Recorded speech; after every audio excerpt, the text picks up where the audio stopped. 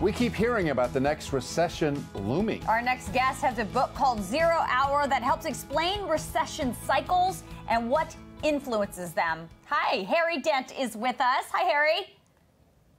Hi. Tell us about Zero Hour. Is this this sounds like a Tom Clancy novel where things go badly at the end? well, you know, there's been a story. I, I predicted the downturn in the 2008, 20 some years before it happened. That was after the peak of baby boom spending, which is something easily projectable in the future because we know exactly when people spend money.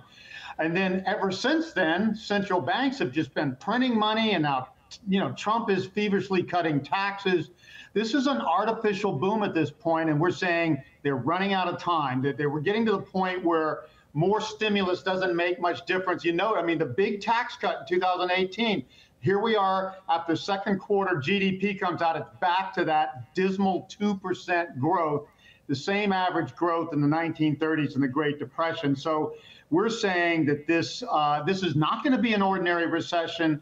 We're going to have to reset these bubbles we've created in stocks and real estate, and even now a bit more uh, again in commodities, and that's going to be painful. And we didn't let banks write down debts or or deleverage or, or these bubbles deleverage much last time, so we're going to have to do it more this time. So we call this the crash of a lifetime, but from the other side of the coin, the sale of a lifetime. In other words, when real estate goes down 40 to 50% on average, when stocks go down 70, 80% or more, you're going to be able as an investor to buy things at the lowest price anybody will ever see again, kind of like buying either in back in 1982 or 1932 at the bottom of the last kind of uh, generational cycle. So oh, okay, hold on. Wait, time out. Time out. I'm afraid people won't. time out. Time out. Time out. That's, there was too much in there for me to even grasp what was going on. So let's back up for a second. Let's unpack that Let's for unpack, a second. yeah, some of it. So first of all,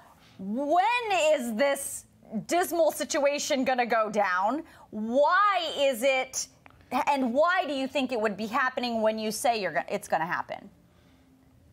Okay, first of all, we did have a natural boom from 1983 to 2008 as the largest generation in history was moving up a predictable higher spending cycle. We enter the workforce at 20, spend the most at 46. It's that simple.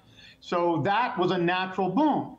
Well, then it started to go down as we predicted 2008 forward. So government stepped in and just printed, I mean, literally collectively, $16 trillion. And then recently, last year, Donald Trump cuts taxes for businesses when they have the highest profits compared to the economy in history. So we're, we're, we've been going since 2009 on stimulus only, and we're running out of steam, is what I'm saying. So I think maybe early next year at the earliest and late next year at the latest, in 2020, we're going to see a peak in this bubble. It's the biggest stock bubble in history, mm-hmm. and it's going to crash. And a crash alone would cause a deep recession, and I think it's going to be more than that. But uh, if, if you believe what they're saying out of Washington, at least on the Republican side, uh, this is one of the best economies we've ever had, the lowest unemployment we've had since uh, you know way back when, and and so you say yeah. it's all you're you're saying that it's all artificial. It's 100% artificial. Stocks are overvalued 114 percent uh, compared to what my model was accurate in the past says they should be. And that is entirely attributed to companies taking free money from the central banks, very low cost money, buying back their own stocks. Earnings per share, per share at lower shares has gone up 119% faster than actual corporate earnings. So, so the stock market's way overvalued. I'll give you another simple fact from 1929 to 1940, the worst decade, 11 years in U.S. history, cumulative GDP only grew uh, 19, uh, 20 percent. Mm-hmm. It has grown only 19 percent in the same 11 years since 2007. We are we didn't have as big a downturn, but we've had a weaker recovery.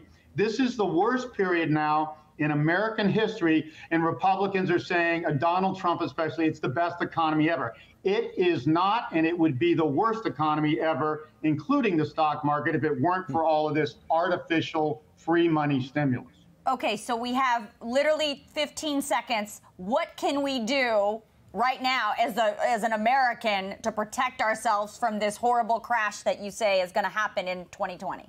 Okay. There's th- when you have this great reset, there's three things that do well. The highest quality bonds, 30-year, 10-year treasury bonds, AAA corporates, cash flow positive rental real estate holds up well, and the US dollar holds up well versus other currencies. Everything else, real estate, stocks, junk bonds, lower quality bonds, and commodities go down. You simply have to protect your assets mm-hmm. near the top of a bubble so that you can reinvest at bargain prices of a lifetime at the bottom. It is that simple. And you know, you're not going to get the exact top. It's better to get out a little early than late. This is not a bad time to start pruning right now. All right. All right. Harry, the book is called Zero Hour. We appreciate your expertise in this. Thank you so much. Sure. Thank you. We'll be right back.